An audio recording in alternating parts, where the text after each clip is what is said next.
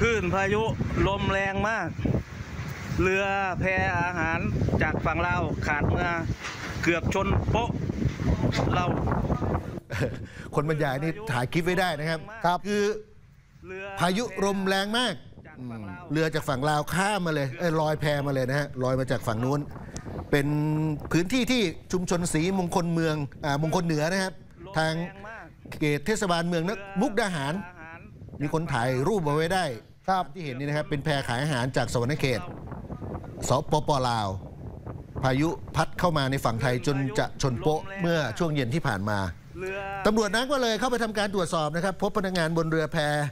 เป็นชาวลาวชาย 5 คนหญิง 6 คน ทั้งหมด 11 คนปลอดภัยทุกคนนะครับ พนักงานอ่าพนักงานบนเรือก็บอกว่า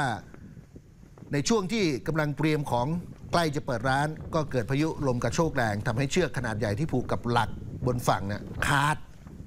เรือแพก็เลยโดนพัดมา พัดมาพัดมา ทุกคนก็ตกใจนะครับค่ะแต่ทุกคนก็มีสติอืมนี่ถือว่าเป็นอ่าถือว่าพนักงานทั้ง 11 คนเนี่ยทั้งผู้ชาย 5 คนหญิง 6 คนเนี่ยผมถือว่ามีสติมากนะ เจอพายุจนเชือกที่ผูกแพนี่ขาด แพถูกพัด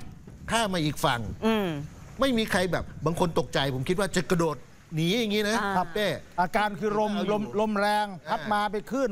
ผมว่าน่ากลัวมากนั่นแหละ ทุกคนก็ยังมีสติที่ว่าจะเข้าไปคือไปคุยให้กำลังใจซึ่งกันแล้วก็แต่อยู่ยิ่งก่ไปอนข้ามฟากมาฝั่งประเทศไทยด้วยอ่าเพราะว่าก็จะมีทั้งเจ้าหน้าที่ของ